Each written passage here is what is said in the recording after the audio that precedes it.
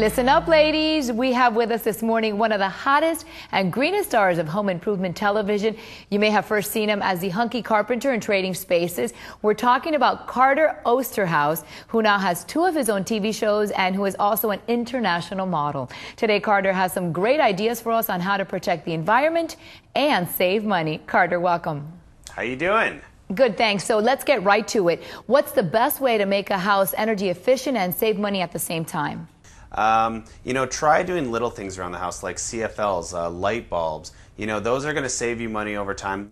Um, low flow uh, faucets or shower heads, uh, toilets, even dual flush toilets. You know, those are going to conserve on um, on water usage. And then you know when you, we get into the bigger appliances, Energy Star rated appliances work fantastic. But even trying to swap out some of your electrical appliances with gas appliances because gas, you know, that burns so much uh, cleaner and it's so much more efficient. Plus, you're going to save money in the end because you know your dry time uh, you know for, for for the dryer is, is, half the time as it would be with an electrical dryer and what's so special about the average american home when it comes to the lack of energy efficiency you know the if most people they look at the cost uh, of what they can do right away, and they see a bigger price, and they, they, they understand that they always hear it, but they don't really go out and, and buy uh, the products or the materials that will help them save money over time. So it's really about getting over that hump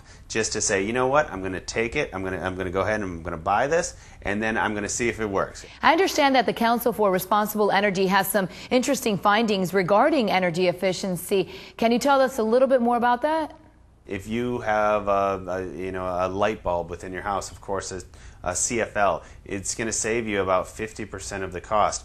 Um, if you're burning natural gas, um, your carbon footprint is about half of the carbon footprint that it would be with electrical usage in those same appliances. Where can we find more information on your recommendations for being more energy efficient? Uh, you can go to the comfortableresponsible.org, and that will give you more information on how to be energy efficient, how to change over to gas, uh, you know, cost in relations to what you have now, and or uh, you know, CarterOosterhouse.com, and I answer all the questions that people ask myself. Well, as you know, this show is called The Balancing Act. How do you personally balance your life between work, family, home lifestyle, health, and financial matters?